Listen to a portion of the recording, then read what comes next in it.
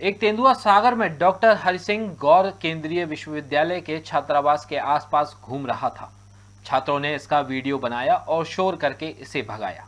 Doctor Hari Singh गौर केंद्रीय विश्वविद्यालय के छात्रावास के पास तेंदुआ होने की खबर प्राप्त होते ही वन विभाग के अधिकारी अपने अमले के साथ विश्वविद्यालय छात्रावास पहुँचे और सर्चिंग कार्यवाही करने लगे। लेकिन यह तेंदुआ छात्रावास के आसपास था। छात्रों ने इसका वीडियो बनाया और शोर करके इसे भगा दिया।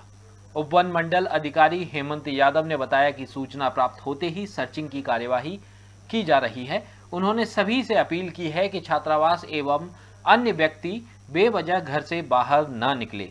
पूरी सतर्कता के साथ निकले वन विभाग द्वारा कार्यवाही की जा रही है।